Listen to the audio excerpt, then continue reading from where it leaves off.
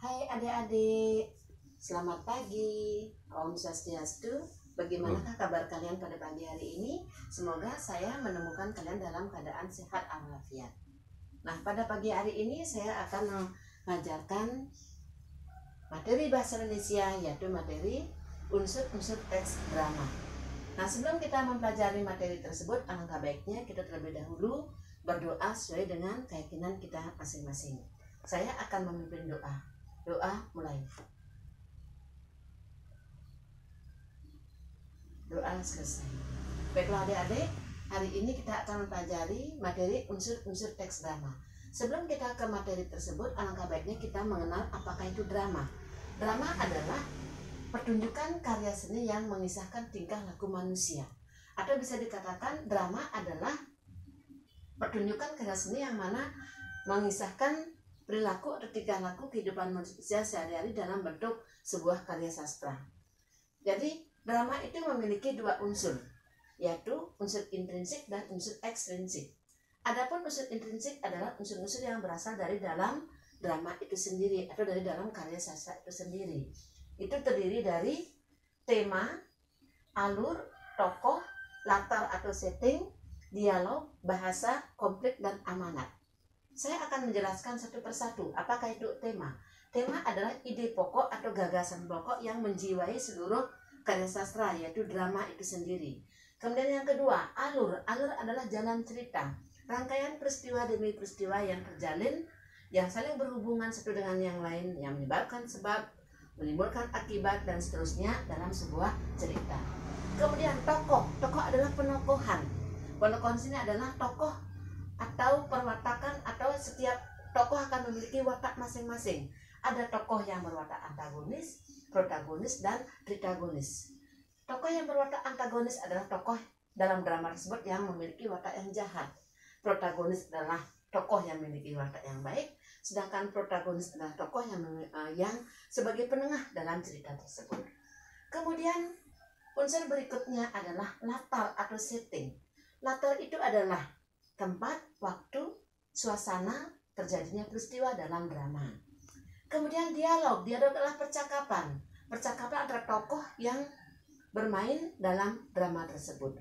Kemudian bahasa, bahasa adalah kata-kata yang dipergunakan ketika uh, tokoh berdialog dalam drama tersebut. Kata-kata yang indah, kata-kata yang memotivasi itu uh, sangat mendukung dalam keindahan sebuah drama. Kemudian konflik. Konflik itu adalah uh, antara tokoh jahat dengan tokoh baik itu dia akan memiliki konflik masalah yang terjadi dalam diri mereka. Kemudian amanat. Setiap karya sastra salah satunya adalah drama itu pasti memiliki amanat.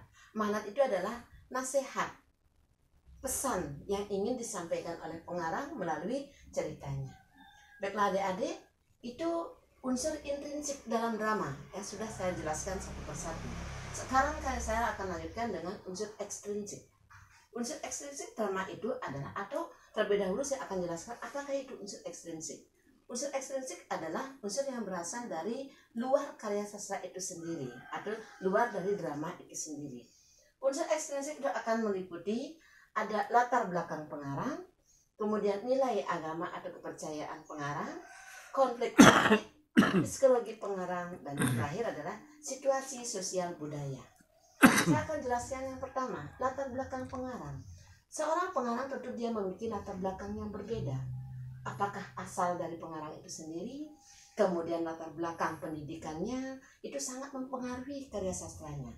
Kalau dia semakin tinggi pendidikannya, maka karya sastra atau dari segi bahasa dan lainnya tentu akan berbeda dari mereka yang hanya pendidikan tingkat SMP atau tingkat SMA. Kemudian saya akan lanjutkan dengan nilai agama.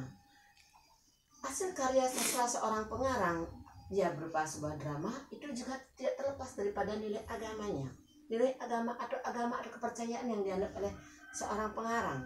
Kalau dia beragama Islam tentu unsur-unsur um, Islam atau agama Islam lebih banyak masuk ke dalam ceritanya. Kemudian ada konflik politik dalam sebuah negara itu ada uh, tentu ada memiliki konflik politik permasalahan dalam bidang politik itu juga akan mempengaruhi cerita atau karya sastra dari drama tersebut. Kemudian yang keempat, psikologi pengarang. Psikologi pengarang atau kejiwaan si pengarang. Kalau si pengarang pada saat dia membuat sebuah cerita memiliki kejiwaan yang sedang terpuruk misalnya atau dia sedang memiliki masalah dengan rumah tangganya tentu akan mempengaruhi ceritanya. Tentu masalah-masalah pribadi juga bisa masuk ke dalam uh, cerita tersebut. Karena dia ingin misalnya menceritakan masalah-masalah atau psikologi uh, yang dialami oleh si pengarang pada saat dia membuat karya sastra tersebut. Yang terakhir adalah situasi sosial budaya. Sosial ini yang berkaitan dengan masyarakat. Budaya yang berkaitan dengan adat istiadat situasi sosial budaya di mana masyarakat juga sangat akan mempengaruhi uh, unsur-unsur atau mempengaruhi karya sastra tersebut. Kemudian budaya, budaya ini juga sangat penting. Ya, budaya seorang pengarang, apakah dia berasal dari daerah Bali, dari daerah Jawa, masing-masing daerah itu memiliki budaya sendiri-sendiri. Kalau si pengarang misalnya berasal dari Bali, mungkin dia akan lebih banyak mengangkat budaya Bali. Atau si pengarang berasal dari Jawa mungkin dia juga akan mengangkat lebih banyak budaya Jawa. Baiklah adik-adik, jadi demikianlah unsur-unsur teks drama yang dapat saya jelaskan pada hari ini. Jadi dapat saya simpulkan di sini adalah drama itu adalah sebuah karya seni. Karya seni yang dipertunjukkan, yang harus dipentaskan oleh eh, tokoh-tokoh uh, tentu yang akan memerankan naskah drama tersebut. Ya, drama untuk menunjang keindahannya tentu dia harus memiliki dua unsur unsur intrinsik dan unsur ekstrinsik baiklah adik-adik demikianlah penjelasan saya pada pagi hari ini. Saya akan tutup dengan mengaturkan Pramo Sandi. Om Sandi Sandi